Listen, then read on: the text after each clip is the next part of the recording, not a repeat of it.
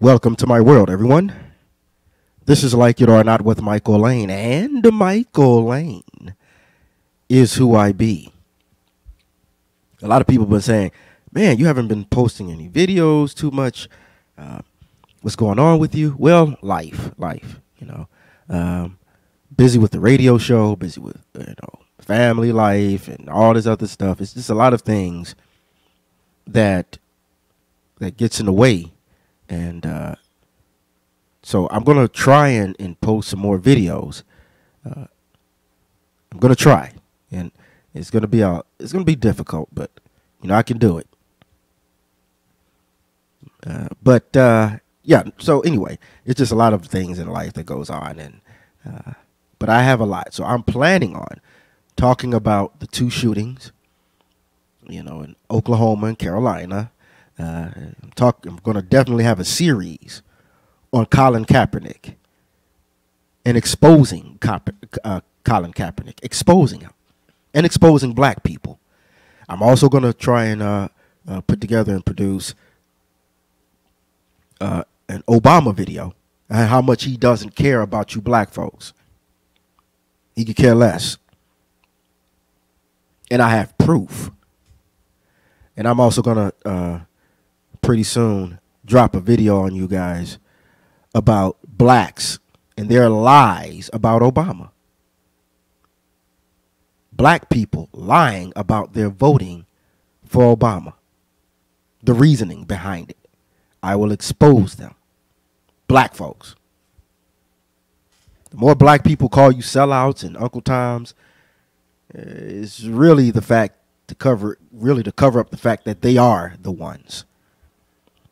But I'm not uh, here to really get deep into what I'm going to talk about uh, as far as uh, making the videos and producing videos. But what I am going to talk about is this.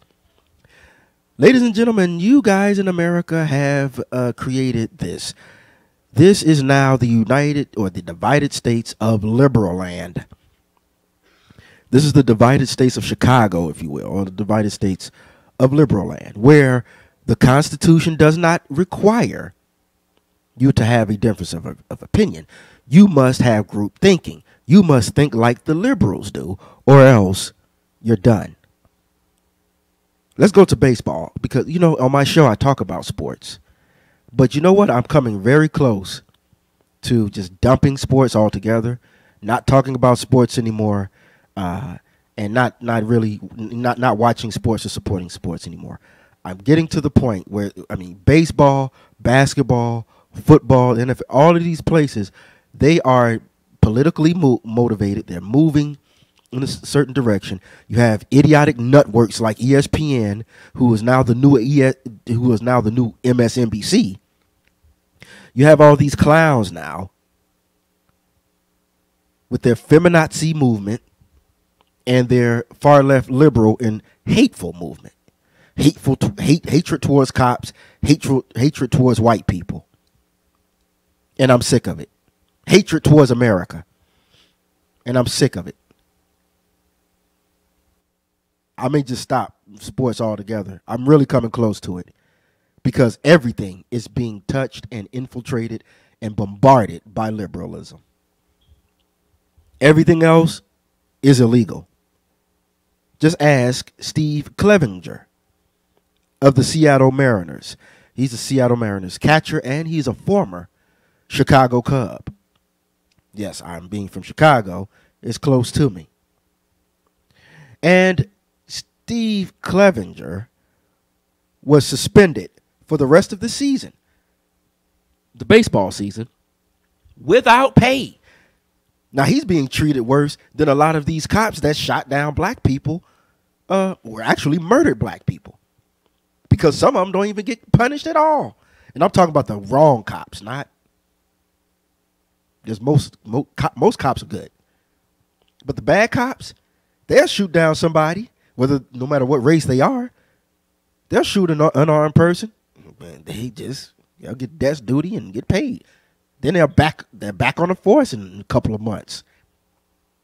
But this guy has been suspended. And probably his career is over for tweets And all he did was tweet his opinions about um, uh, the protests in Carolina.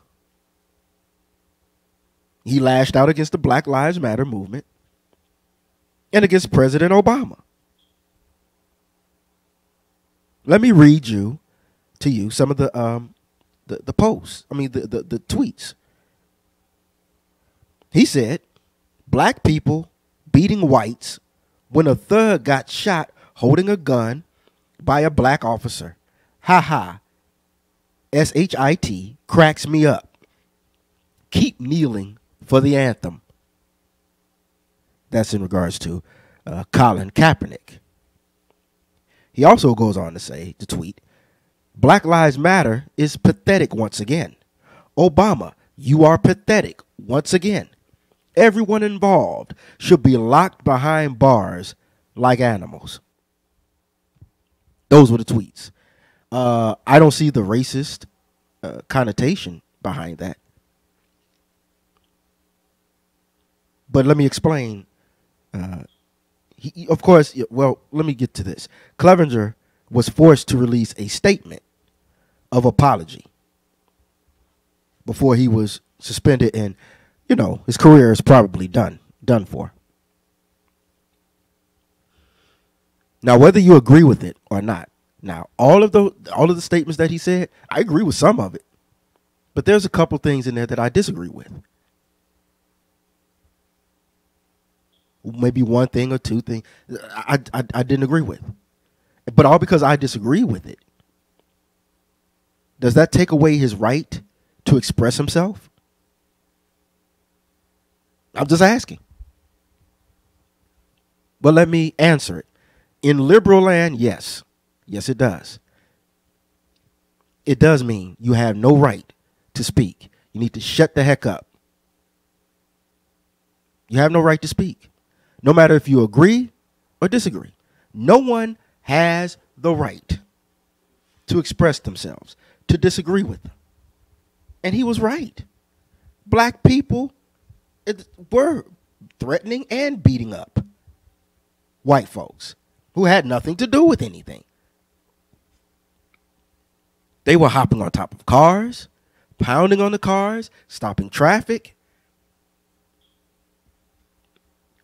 Again, doing harm to people that had nothing to do with the shooting incidents. And when he talks about Obama and Black Black Lives Matter, they are race agitators. It's just that simple. They're the agitators. As a matter of fact, President Obama, and I believe Black Black Lives Matter is included, they're being sued. They're being sued for inciting riots and causing uh, pain, infliction, and damage to, to people who suffered as a result. And I think they were I think they were the cops who paid the price for the speech of Hillary Clinton, for the speech of of President Obama. These these people don't care. It's not that they care. It's just that they want to divide and conquer. That's the only way they can conquer by dividing. That's the only way they can do it and we fall for it, hook, line, and sinker all the time. But here we have ESPN, aka MSNBC, the far left feminazi uh, liberal movement, in an article written by Kavitha Kavitha Davidson, I believe her name is. Well, she talked about uh, Mr. Clevenger and called him, said that those were racist tweets and then tried to justify Colin Kaepernick's protests. So we can say, uh, so we can stop calling Colin Kaepernick's protests meaningless now. They use every every bit of of, of so-called controversial words, and they try to justify this. They try to justify Colin's idiocy, and it's not like I'm telling you. Once you listen to my videos on what I think about Colin Kaepernick, it should open up a lot of eyes because it's not what people think. It's not what you think. So, all you idiots who are emotional, don't jump to conclusions. But but this far left feminazi went on to say that uh, Clevenger was being uh, I, I guess, kind of crazy by saying that uh, he was implying that uh, the uh, the riots, or because that it wasn't protests, it was riots. The riots were too loud, while in the same breath criticizing a silent protest by a fellow ath- athlete. This is what. No, no, no, no, no, no, no, no. Those are two separate things. He wasn't talking about the silent protest being too loud. He was saying the silent protest by Kaepernick was a disrespect to the flag and to this country.